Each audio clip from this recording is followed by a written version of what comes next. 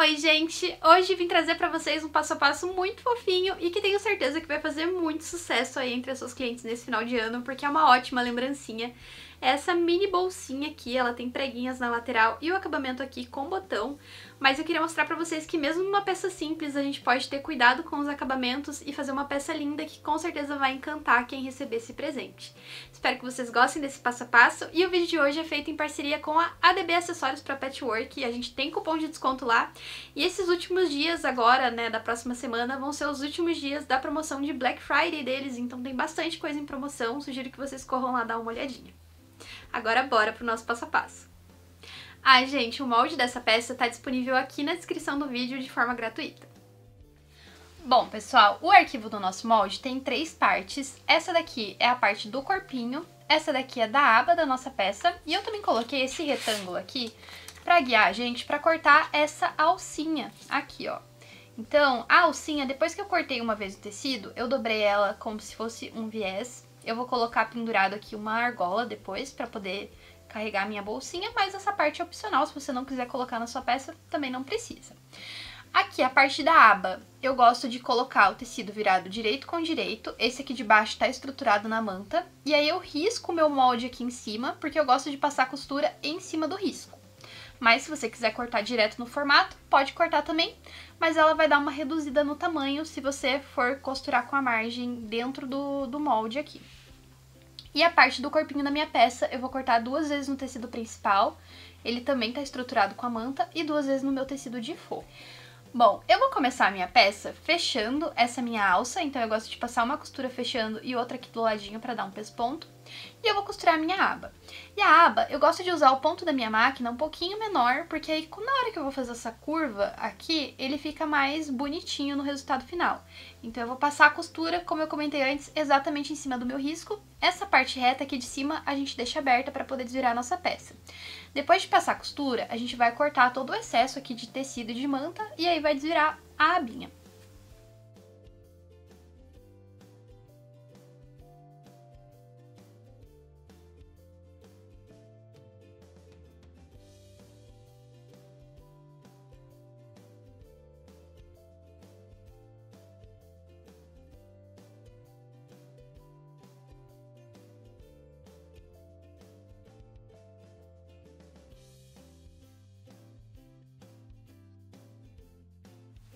Prontinho, gente, ó, desvirei a minha peça, agora eu vou dar uma ajeitadinha nela e eu vou passar um pesponto aqui no contorno, mas eu vou trocar o meu calcador por esse daqui que tem a guia aqui do ladinho, porque daí ele me ajuda a manter a mesma distância ali no meu pesponto todo.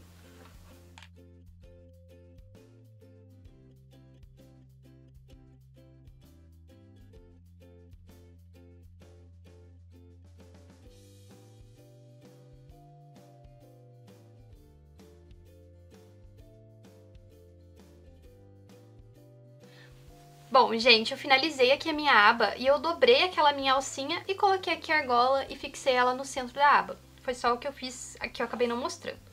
Agora eu vou pegar aqui a parte que vai ser as costas da minha peça. Aqui as duas são iguais, então não faz muita diferença.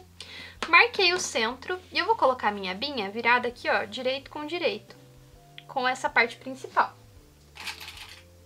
Eu vou passar uma costura fixando aqui a minha aba na minha parte principal. Aí depois que eu fizer isso, eu vou fechar essas caixinhas de leite que tem aqui embaixo.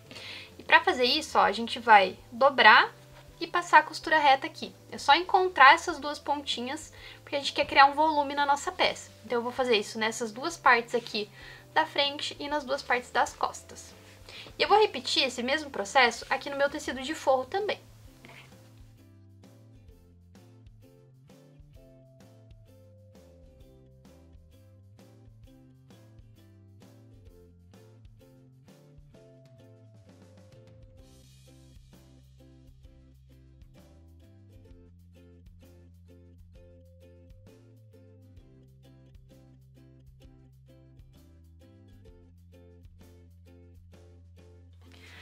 Agora a gente vai fechar a parte externa aqui da nossa peça. Eu juntei direito com direito aqui dentro, ó.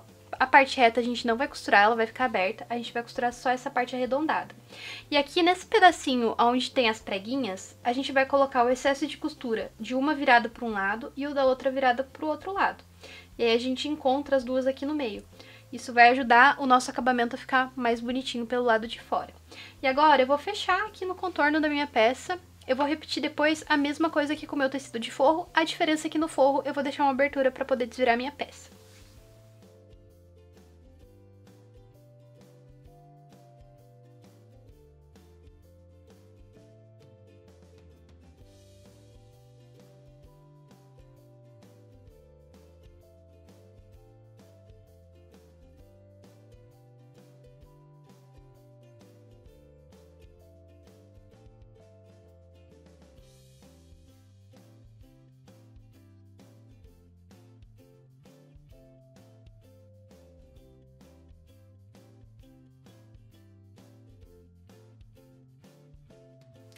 Ó, gente, desvirei aqui a minha parte principal e por isso que é importante a gente encontrar aquelas duas costuras e jogar uma para cada lado, como eu comentei com vocês.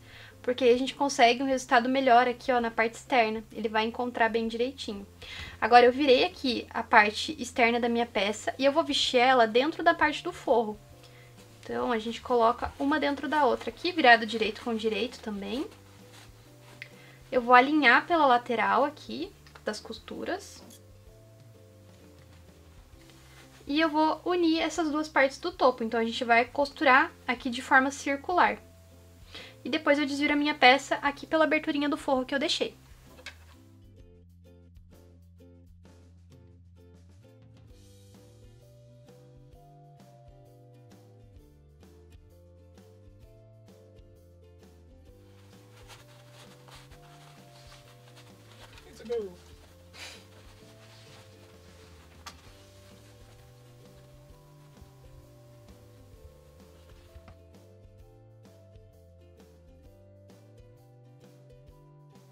Bom, pessoal, agora para finalizar minha peça, vou colocar aqui um botãozinho de tic-tac. Eu tô utilizando aqui o kit 3 em 1 de alicate lá da ADB.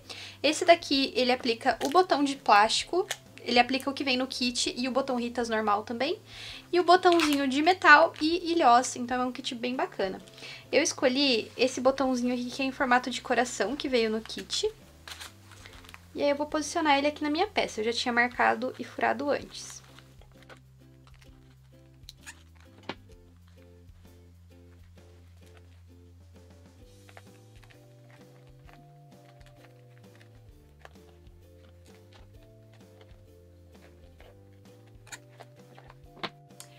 Bom, gente, a nossa peça finalizada ficou assim, desse jeito. Coloquei o botãozinho ali, como eu mostrei pra vocês.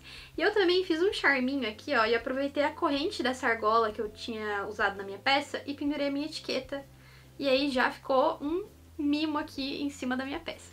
Espero que vocês tenham gostado desse passo a passo. Esqueci de comentar antes, mas a gente também tem promoção de Black Friday lá no meu site com aqueles projetos que são pagos, então todas as aulas estão com desconto, é só usar o cupom que vai aparecer aqui na tela pra vocês e o link também vai estar na descrição do vídeo. Tchau e até a próxima!